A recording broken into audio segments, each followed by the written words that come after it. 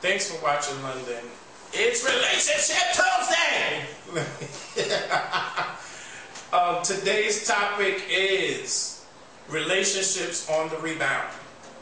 Have you ever just gotten out of a relationship and jumped right into another one? I mean, I have done it. Um, I don't know how to put this, but in honesty, I have ended relationships and kind of like before I can come to consciousness, I'm in another one. Not because I purposely planned out things that way, but the opportunity presents itself. And before you know it, you're in something without knowing it. And if you're one of those people, then hey, I can identify with that. But I have come to a place of maturity in my life where I don't settle for anyone and anything that just presents themselves.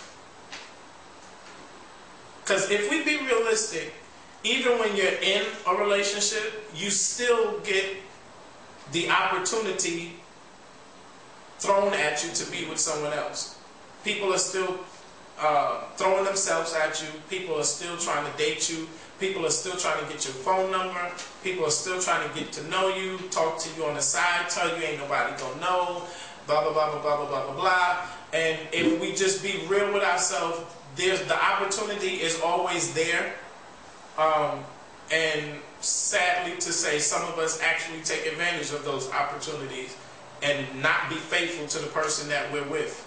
But the question that I'm asking you is, once you are exiting one relationship, do you find yourself being the type of person that wind up in a relationship on the rebound? Meaning you you just broke up with someone, you just broke up, you just got out of a relationship, whether good or bad, and hey, there's some person that was your friend, the person that was your confidant, usually that person that may have been your emotional surrogate that person that you go to and confide and tell your business to, blah, blah, blah, blah, blah, all of a sudden, boom, bang, pow, you're in a relationship with this person. Are you one of those people that in relationships and wind up in another relationship, and why do you do that?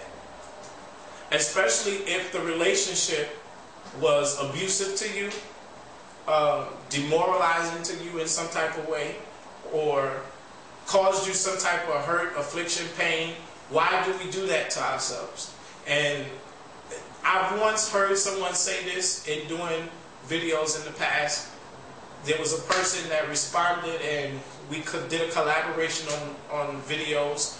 Um, her name is Tia and she did a video with me on living single and the relation it was about relationships of course and she was talking about how ending in one relationship she was in for three years, and it took her just as long as she was in that relationship to get over it. And when I heard it, you know, I was just at my third year mark at being out of my relationship. And to be honest with you, it wasn't until that following year, which was the beginning of this year, that literally the ice broke and everything about that relationship no longer mattered. Period.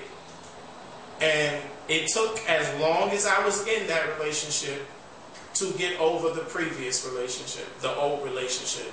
Um, so that's the question I'm saying to you. Do you wind up in relationships on the rebound?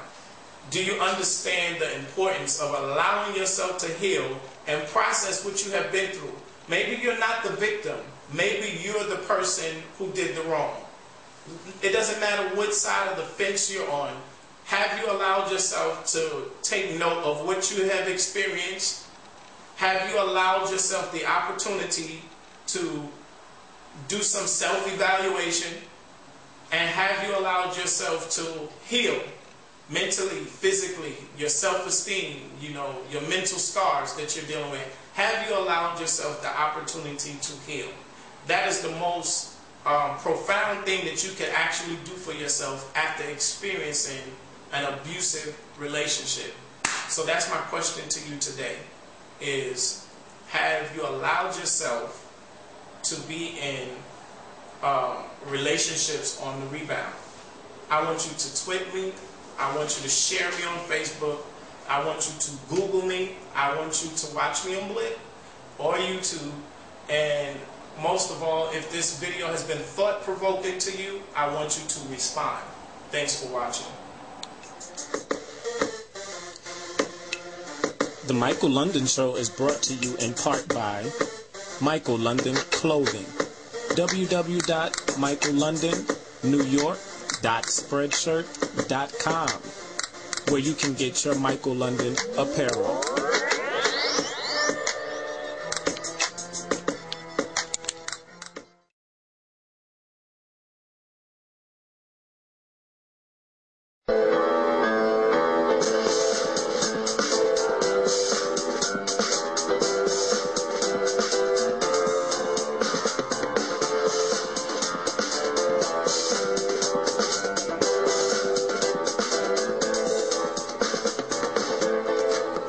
Log on to facebook.com, add The Michael London Show, or follow me on Twitter, Michael London TV on Twitter.